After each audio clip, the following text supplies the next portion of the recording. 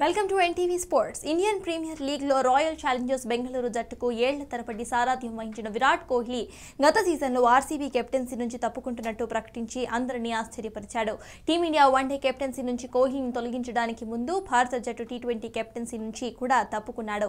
దక్షిణాఫ్రికా పర్యటనలో మూడు మ్యాచ్ల టెస్ట్ సిరీస్ను ఒకటి రెండుతో కోల్పోయిన తర్వాత టెస్ట్ కెప్టెన్సీకి కూడా కోహ్లీ రామ్ రామ్ చెప్పేశాడు.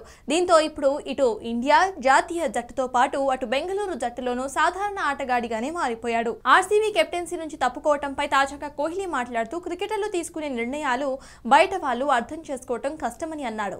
తన నిర్ణయం చుట్టూ అల్లుకున్న ఊహాగానాలను కొట్టిపాడేశాడు తాను ఎంత చేయగలనో అంతే చేశానని అంతకు మించిన వాటిని పట్టుకొని ఊగిసలాడే వ్యక్తిని నేను కాదని అన్నాడు. తాను ఇంకా ఎక్కువ చేయగలనని తనకు తెలిసినప్పటికీ దానిని తాను ఆస్వాదించినట్టయితే ఆ పని చేయబోనని కోహ్లీ స్పష్టం చేశాడు. ప్రజలు మీ పరిస్థితిలో ఉంటే తప్ప మీ మీరు తీసుకునే నిర్ణయాలను అర్థం చేసుకోవటం చాలా కష్టమని ఎందుకంటే వారి అంచనాలు అభిప్రాయాలు వారికి ఉంటాయని చెప్పుకొచ్చాడు. నిజానికి ఈ విషయంలో షాక్ కావడానికి ఏమీ ఉండదని అన్నాడు. తనకు కొంత స్పేస్ కావాలని తన పని భారాన్ని నిర్వహించుకోవాలనుకుంటున్నారని అన్నాడు. కాబట్టి అక్కడికే ఆ కథ ముగిసిందని కోహ్లీ వివరించాడు.